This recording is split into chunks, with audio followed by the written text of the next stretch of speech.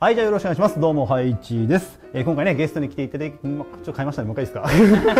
あー、噛んだ。はい、じゃあよろしくお願いします。どうも、ハイチです。そして、どうも元気です。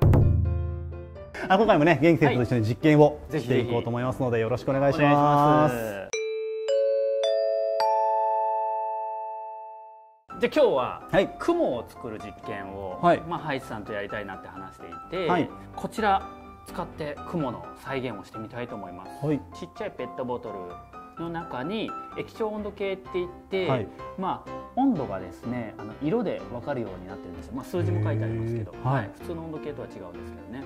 でここにポンプがついていてこれを押すことで中に空気をどんどん入れることができるんですね、はい。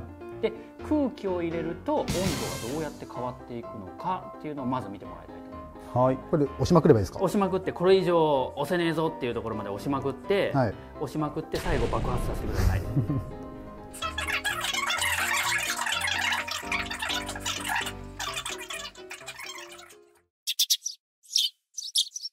あどんどん温度上がってますもん。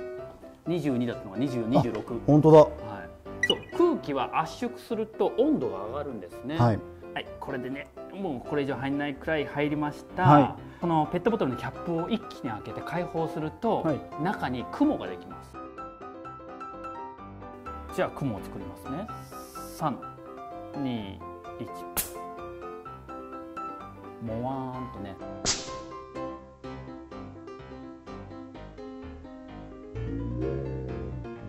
これなんでできたかっていうと、はい。この中には目には見えないですが水蒸気っていうものがあります、うん。でここにもね、えー目には見えないですけど水蒸気っていうのがあります、こう圧縮されると温度上がりましたけど、はい。逆にこう解放すると温度が下がったのが多分見えたと思います、はい。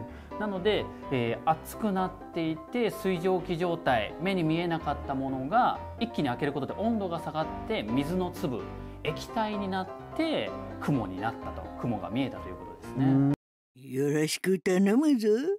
ではお湯を入れますやばこれはやばい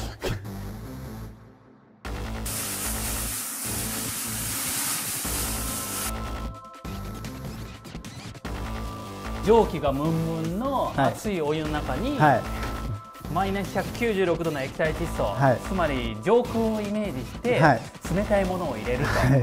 冷やすと。そうそうするとここが雲ができるんじゃないかなっていう かななんですね。はい、了解ですなん。か綺麗な雲ができるんじゃないかなっていうね。もうついていくしかないです。ぜひね皆さんに、はいそしてハイチさんにね雲の中の気分を味わってなるほど、なるほど。それは幻想的ですね。そうですねうん。不安だけど頑張ります。僕も不安だけど頑張りますこれ3日で一緒に入れましょうか。一気にですね。うん。でねこのここに頭があると、はい。この90度の熱湯顔にかかりますんで。あ了解です。はいわかりました。避けていただいて、はい。じゃあ持っていただいて。バッチリですね。ね。よし。はい。じゃあいきますよ。3三、2二、1一。おっ！お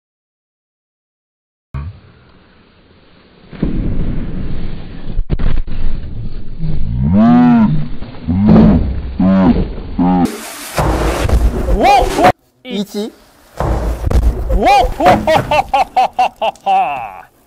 と。えっと天国の世界にようこそ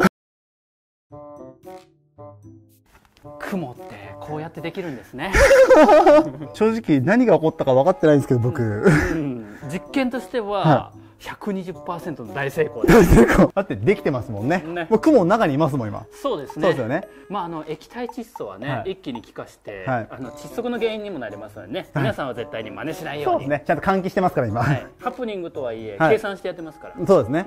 うん。僕こうなると思ってました。なんだろう、どこまで本当なのかちょっと分かんなくなってきてるけど、俺。